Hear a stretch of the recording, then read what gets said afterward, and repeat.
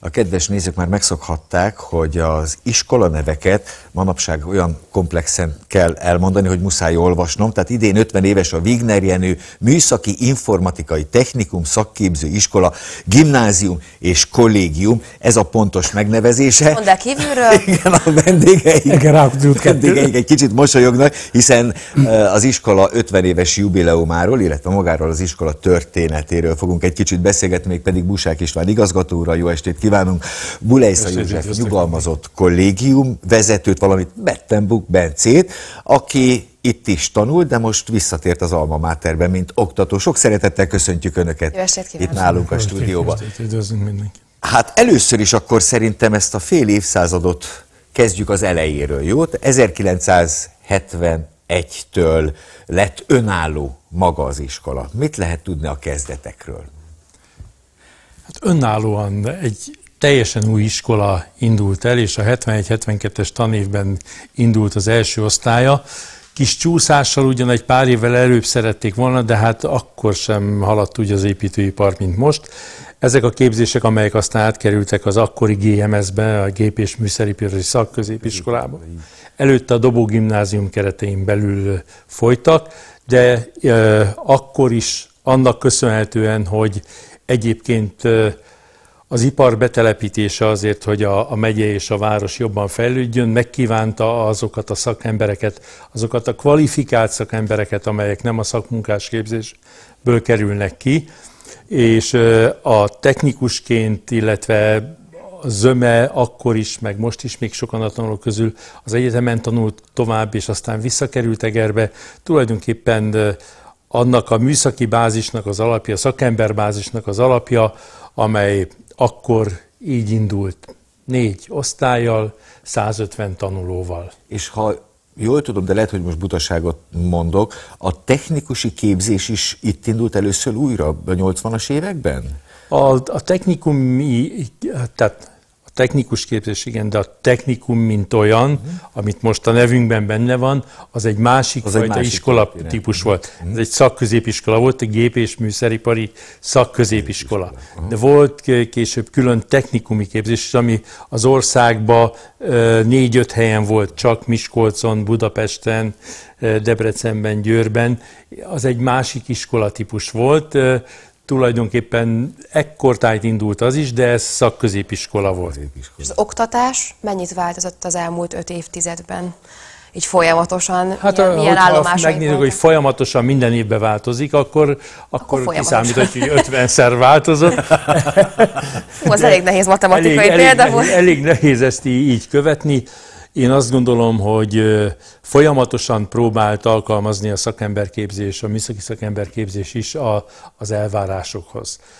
Hogy ha épp arról beszélgettünk a műsorvezető úrral, hogy akkor született, hogy ugye akkor én már megvoltam, de ha végig gondolom, hogy az akkor csodának számít technikai dolgokról ma már nem is tudunk, olyan elavultak, Na most ehhez a fejlődéshez, ami a műszaki területen folyt, ezekhez szakembereket képezni, mind, akkor még nem is volt informatika. Igen. Tehát eh, a, a gépészet területén, a villamosipar területén belül mind-mind olyan változások voltak, amit a szakemberképzésnek eh, követnie Követni, kellett. Követnie. És, és hát nyilván követtük is, meg követjük most is. Ugye nyilván ez a sok változás, ami, amit a, a, az a oktatási és a gazdasági kormányzat, az ITM prognosztizál az ipar 4.0, ehhez kapcsolódóan a dolgok, tehát a folyamatos fejlődés megkívánja, hogy az oktatás is folyamatosan változzon.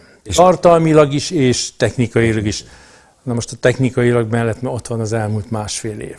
A járvány időszaka, amikor egy teljesen új, do, új módon kellett átadni a tudást a gyerekeknek. Világos. És akkor ebből kicsit kössünk át. Bence, ha jól tudom, tegeződhetünk, ugye? Köszönöm szépen. Hogyha jól tudom, te itt is tanultál ebben a suliban, gondoltad volna akkor, amikor ide jártál, hogy te itt egyszer a másik oldalon fogsz állni? Ö, igen, gondoltam. Tényleg? nagyon sokat is Pedig gondoltam rá.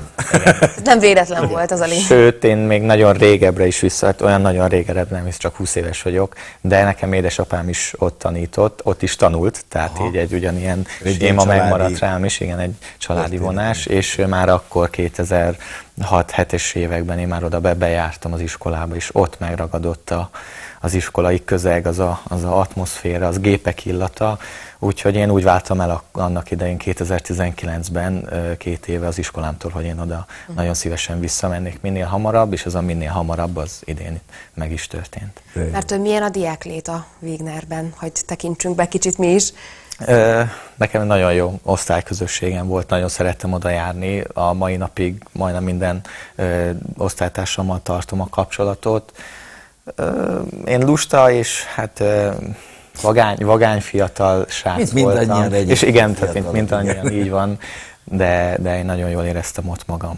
És most a másik oldalon? A másik oldalon, igen, ezeket kell majd kiszűrnöm, akik olyan, olyan voltak, olyanok, mint amilyen én voltam, úgyhogy ezeket kicsit nehéz megszűrni, de, de hát még most az elején nehéz. Mm. Nyilván pályakezdőként, de igyekszem helytállni itt is. És akkor kicsit kapcsolódjunk rá a kollégiumra is, mert hogy ugye ez egy komplex ö, intézmény, és így, így van együtt, így egész. Ö, ugye szeptember 16-án lesz egy ö, megemlékezés, ha jól tudom, és ha nem csalnak az információ, mert tudom, hogy nem, akkor egy előadással is készül ön, mint kollégiumvezető, volt kollégiumvezető. Egy kicsit ebből az előadásból lehet valamit tudni? Összegezve valami tartalmi részt? A kollégiumot 1973-ban adták át, első igazgatója Horváth Sándor volt, akkor, mint önálló intézmény működött. Egy szállodarendszer épület, négy emeleten, 64 szob, négy ágyaszobával készült el a kollégium. Ez nem volt alkalmas kollégium nevelésre. A idők során az északi, illetve a déli végén kettő-kettő szobát megszüntettek, és abból hozták létre a tanulótermeket. Aha. Én 1974-től dolgoztam az iskolában, az intézményben, műszaki tárgyakat tanítottam. 84-ben, akkor már Szabó Péter volt az igazgató, kért fel a kollégium vezetésére, úgyhogy én tíz év tanítási gyakorlat után kerültem át. Hát nagyon sokat fejlődött a kollégium, nagyon sokat dolgoztunk, beszélgettünk, vitatkoztunk is az akkor igazgatóval, és úgy gondolom, akkor ért el, vagy úgy ért el a kollégium a mostani állapotát. Igen, most ugye, ha jól tudom, három ágyas szobák vannak alapvetően, de vannak két ágyas szobák is. 50-50 százalékban, a kollégium egyik szárnya az három ágyas szobákból, közös mosdókkal, közös mellékhelyiségekkel van, a másik szárnya pedig két ágyas fürdőszobás szobákkal rendelkezik. Alapvetően a kétágyas fürdőszobás szobákat azoknak a tanulóknak szálljuk, akik tanulmányi eredményeikkel rászolgálnak arra, hogy egy kicsit jobb körülmények között készülhessenek tovább is. Habár én azt gondolom, egy kollégiumban ott...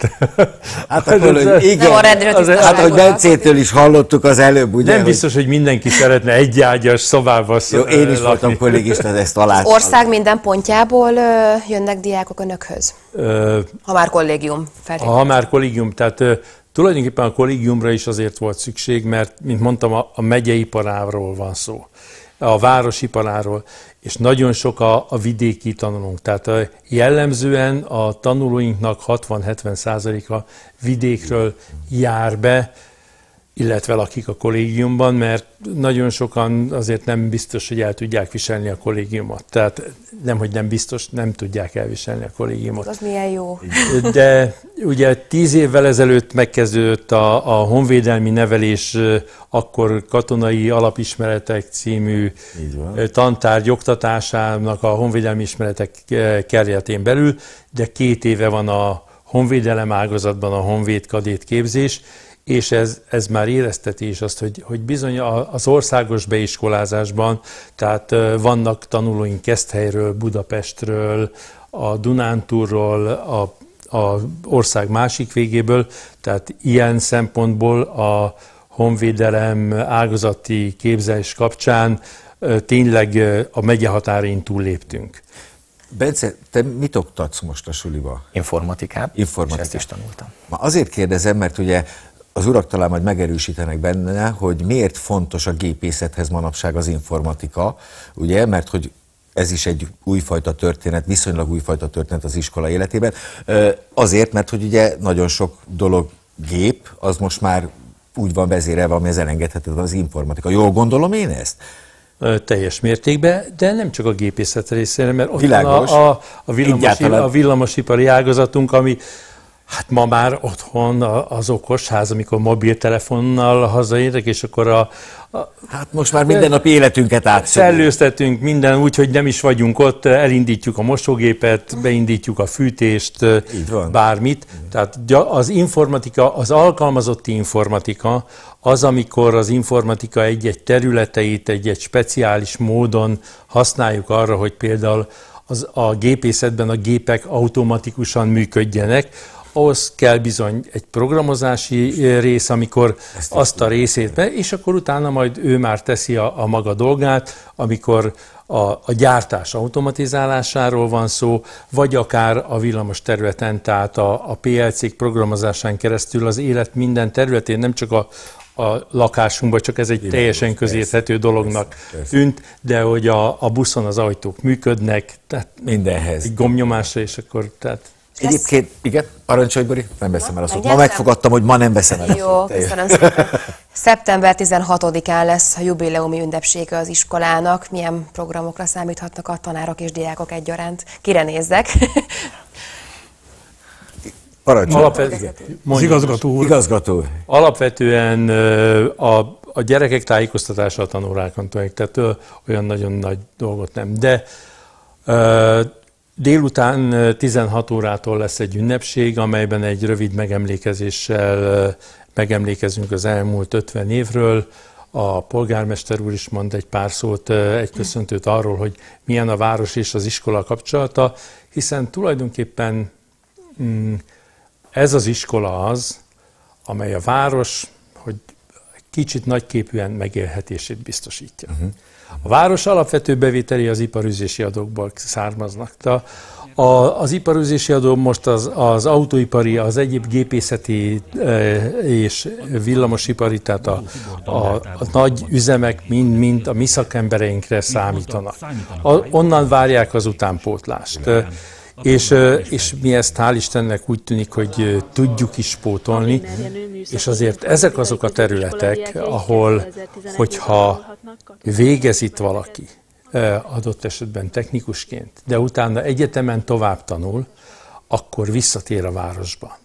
Még azt mondjuk, hogy nagyon sok területen, a, a nem műszaki tudományok területein akár a közgazdaságtant nézzük, akár a bölcsészetet, akár mit. Nem biztos, a, hogy... Nagyon kevés a visszáramlás, ami tulajdonképpen ez a visszáramlás biztosítja azt is, hogy a, a polgári léte a városnak, az értelmiségi réte egy kicsit fejlődjön, fennmaradjon. Tehát sikerüljön elérni azt, amit már elértünk, fenntartani vagy tovább javítani. Így van. Egy kicsit azért én visszacsatolnék Bencére, hogy milyenek most a diákok a 2020-as évben mondjuk a Bence korosztályához képest. Kicsit vadabbak, csélcsap, társaság, de azért nyilván fegyelmezhető és jó tanulók mind, kivétel nélkül. Én világéletemben kollégista voltam. Én részt vettem a kollégiumi csíny élet minden rosszaságában. Sokszor, amikor hozzám került a kollégiumba tanuló, alig vár, leszittam nyilván, alig vártam, hogy kimenjen, elfordultam is. Jó, kinevettem magam. Mekkora ötlet volt ez is. igen, szóval mindig új dolgok. Na már itt tartunk, akkor jöhet igen? bármi kedves emlék még ezzel kapcsolatban. Igen, igen, igen. Történt egy, egy dolog, új ablakokat szereltek fel a kollégiumba, és ugye hát a kollégista az nem szeret este éjszaka lenni. Ez így van. Ablakon keresztül ment ki, úgyhogy a konyha rácsán ereszkedett le, és szerencsétlenre együtt leszakadt a rács. Ja. Az volt a szerencséje, hogy egy 20 centis hó volt.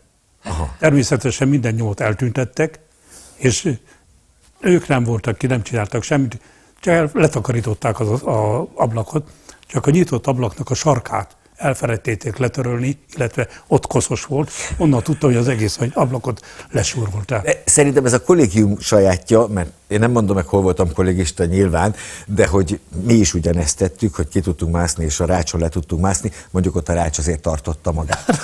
Hála Istennek. Hogy érzed most, mennyire fontos a fiataloknak, vagy mennyire veszik, mert ugye te tudatosan készültél erre a pályára, de hogy a fiatalok mennyire érzik fontosnak például az informatikát ma, azon túlmenően persze, hogy tudjuk, hogy a kütyüket hogy kell, bár azt szerintem a vérükben van a mai fiataloknak, én azt gondolom. Azt nézve, hogy hány, én, én hány diákot tanítok, úgy gondolom, hogy nagyon látják ők is, hogy az informatika a jövőt képezi, és próbáljuk így felépíteni az órákat is, hogyha innen a képzésből kikerülnek, akkor egy munkahelyre, illetve bárhova képesek legyenek beilleszkedni. Sok olyan diák van természetesen, akik még most 9-be vagy 11-be még nem nagyon tudják, hogy ez lesz-e a, az ő szeretett szakmájuk, de igyekszünk, és én is igyekszek megszerettetni velük ezt a szakmát. És hát ez egy mindenképpen hasznos tudás lesz nekik. Uraim, hát akkor... Még 50 évet kívánunk, vagy még Még, még 150-250 évet. Nem mondom, Az hogy találkozzunk a századiknál, a századiknál, de minden esetre boldog születésnapot az iskoláknak, önöknek pedig jó munkát, sok-sok érdeklődő fiatalt kívánok még a pályára. Nagyon szépen köszönöm az iskola nevére, a tanáraink nevébe is. Várjuk a diákokat, akik az elkövetkező 50 évet kitöltik minden évben. Így van. Köszönjük szépen, uraim, hogy itt voltak velünk.